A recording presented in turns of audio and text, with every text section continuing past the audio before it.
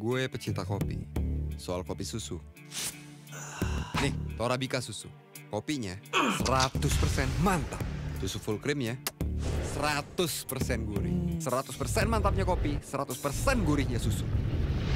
Menyatu di Torabika susu. Luar biasa. Sempurna. Gue nggak pernah bercanda soal kopi susu.